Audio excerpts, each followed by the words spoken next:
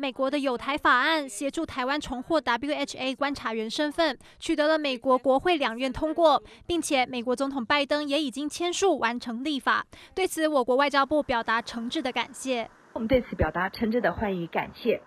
我们看到拜登政府上任以来，一再以实际的行动来支持并且协助扩大台湾的国际参与空间。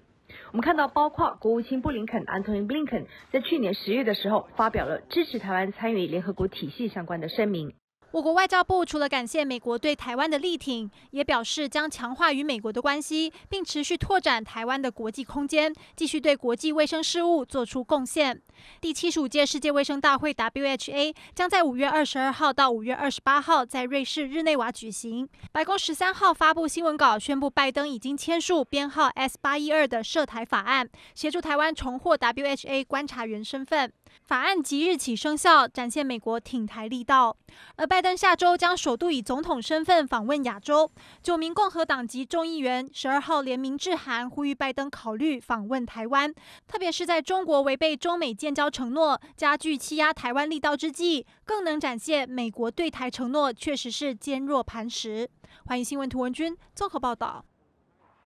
请订阅、按赞、分享环宇新闻 YouTube 频道，并且开启小铃铛，及时掌握全球时事与最新趋势。